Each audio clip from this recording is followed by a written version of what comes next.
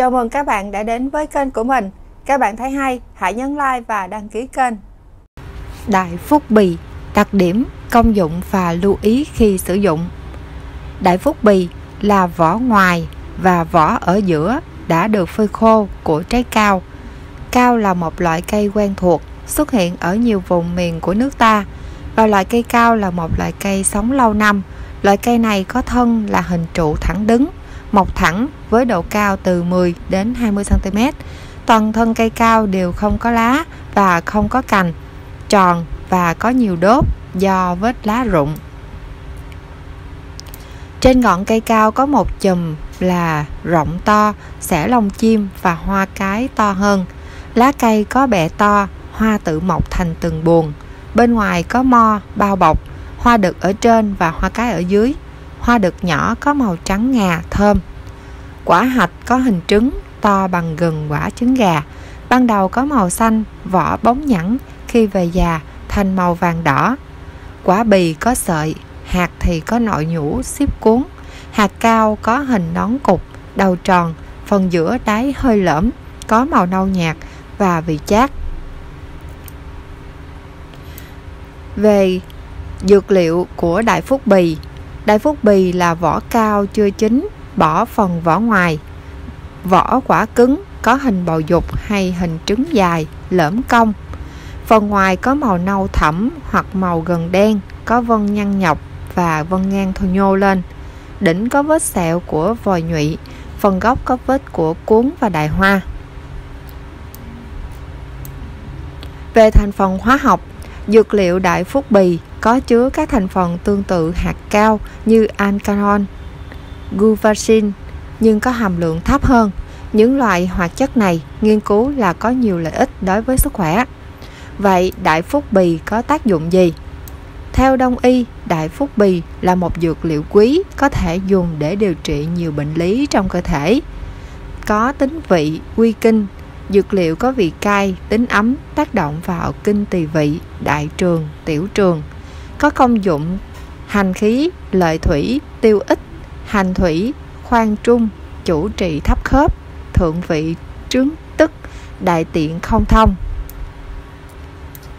các bài thuốc chữa bệnh từ đại phúc bì như đã nói thì dược liệu đại phúc bì có tác dụng chữa được nhiều bệnh lý trong cơ thể và đây là các bài thuốc ứng với các bệnh lý trong cơ thể của chúng ta.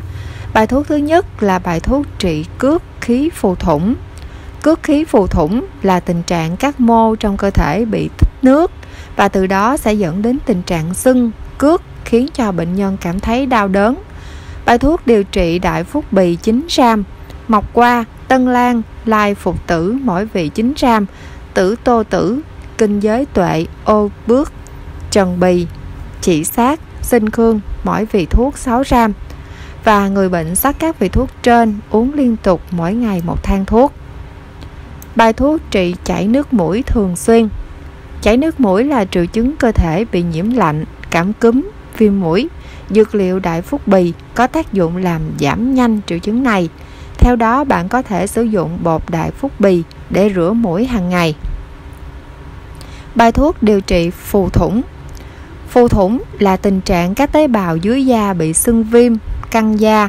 Khi gặp phải bệnh lý này, người bệnh áp dụng bài thuốc bao gồm các dược liệu đại phúc bì, bạch truật, phục linh, mộc hoa, sa tiền tử, ngũ gia bì, trạch tả, ý dĩ nhân, phục linh, tan bạch bì, với liều lượng bằng nhau. Nếu cơ thể bị suy nhược thì bạn có thể cho thêm vị thuốc nhân sâm. Sau đó, các sắc tất cả các vị thuốc trên với một lượng nước vừa đủ rồi uống. Bài thuốc trị thủy trướng ứ nước bí đầy và có thai phù thủng.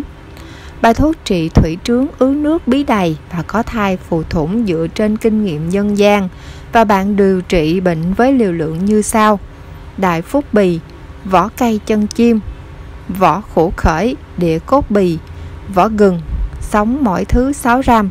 Bạn sắc thuốc uống và uống đều đặn mỗi ngày để triệu chứng của bệnh thuyên giảm. Bài thuốc giảm trướng bụng đầy hơi Bài thuốc giảm trướng bụng đầy hơi dưới đây đã được nghiên cứu và được các chuyên gia đông y đánh giá cao về hiệu quả đạt được.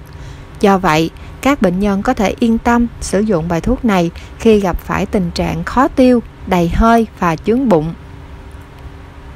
Bài thuốc số 1 là bột nhất da giảm chính khí. Bệnh nhân sử dụng các loại dược liệu bao gồm có đại phúc bì, hạnh nhân, mầm mạch và thần khúc mỗi vị 12 gram. Kết hợp với đó là hoắc hương chi, hậu phát mỗi thứ bị 8 gram, trần bì 6 gram, nhân trần 16 gram. Người bệnh sắc uống nước cho đến khi bệnh khỏi hẳn. Bài thuốc thứ hai, hoàng cầm hoặc thạch than. Bệnh nhân sử dụng các loại dược liệu bao gồm đại phúc bì 8 gram, thông thảo và bạch đậu đấu mỗi vị 6 gram. Kết hợp đó là hoàng cầm hoặc thạch, phục linh bì. Bạn sắc uống liên tục trong nhiều ngày. Bài thuốc chủ trị thấp nhiệt, sốt, mình nóng, riêu lưỡi, mạch hoảng. Bài thuốc chữa chân sưng phù, tiểu tiện khó. Khi gặp phải các triệu chứng trên thì bệnh nhân có thể áp dụng các bài thuốc điều trị dưới đây. Bài thuốc số 1, thuốc sắc ngũ bì, gồm có vỏ quả cao, vỏ gừng, vỏ rễ dâu, mỗi vị 12 gram, trần bì 8 gram và phục linh 8 gram. Người bệnh sắc uống đến khi các biểu hiện của bệnh giảm hẳn. Bài thuốc này có tác dụng điều trị bệnh phù thủng, chướng bụng, tiểu tiện khó khăn. Bài thuốc số 2, ngũ bì tán, bao gồm các vị thuốc tan bạch bì, đại phúc bì, sinh khương bì, địa cốt bì, trần bì với liều lượng bằng nhau. Bạn tán các vị thuốc thành bột, mỗi lần uống 10 đến 12 gram, dùng với nước ấm. Tác dụng của bài thuốc này là ký khí tiêu phù, kiện tỳ hóa thấp và đồng thời bài thuốc còn có tác dụng điều trị bệnh viêm thận, viêm gan cổ trướng, nổi mề đai. Bài thuốc số 3, bột đại phúc bì, bao gồm các vị thuốc đại phúc bì, tan bạch bì, cao mộc lai phục tử, mỗi vị 12 gram, kết hợp với hạt tí tô, chỉ sát, kinh giới tuệ, gừng sống, trần bì. Người bệnh sắc thuốc uống với liều lượng nước vừa đủ và bài thuốc này có tác dụng điều trị chân sưng phù, trị cước khí. Bài thuốc số 4 bao gồm các dược liệu như vỏ cao, vỏ củ gừng, vỏ rễ rau, vỏ quýt với liều lượng 12 ra mỗi loại. Bạn sắc thuốc uống trong nhiều ngày để điều trị bệnh. Bài thuốc có giá trị điều trị bệnh phù thủng, chướng bụng, khó tiêu và tiểu ích. Bài thuốc trị ghẻ trị bệnh cho trẻ nhỏ bị sốt rét. Trẻ nhỏ bị sốt rét, ăn uống kém, bàng quang viêm có thể áp dụng bài thuốc đại phúc bì để điều trị bệnh. Bài thuốc như sau: đại phúc bì 20g, dược liệu cam thảo 8g, thương truật 8g. Sắc bài thuốc này và uống để điều trị bệnh. Bài thuốc đại phúc bì trị chứng huyết ứ ở phụ nữ. Khi bị chứng huyết ứ ở bụng, bụng đau, chị em phụ nữ có thể áp dụng bài thuốc chữa bệnh như sau. Dùng đại phúc bì, chỉ sát, đại hoàng, mộc thông, phong kỳ, tan bạch bì, mỗi vị thuốc 4 gram, trần bì mỗi vị 6 gram. Và một số lưu ý khi sử dụng các bài thuốc từ dược liệu đại phúc bì. Đại phúc bì là một loại dược liệu mang đến nhiều công dụng chữa bệnh rất là tuyệt vời. Ngoài ra, dược liệu này cũng khá là an toàn, lành tính và ít gặp tác dụng phụ. Tuy nhiên, người bệnh cũng mắc chứng thận hư, không có thấp nhiệt thì không nên sử dụng đại phúc bì để tránh gây ra các tác dụng phụ. Bên cạnh đó, khi sử dụng thuốc ngũ gia bì để chữa bệnh thì bệnh nhân phải kiên trì điều trị. Bởi đây là một vị thuốc thiên nhiên nên không thể phát huy hết tác dụng ngay tức thời. Thuốc cần có một khoảng thời gian dài để ngấm vào cơ thể và phát huy công dụng điều trị bệnh. Hơn nữa, hiệu quả điều trị của các bài thuốc trên còn phụ thuộc vào cơ địa, tình trạng bệnh lý của mỗi người. Ngoài ra, người bệnh không nên quá làm dụng thuốc, sử dụng quá liều lượng vì có thể sẽ gây ra tác dụng phụ không mong muốn. Và đó là những cái thông tin về dược liệu đại phúc bì.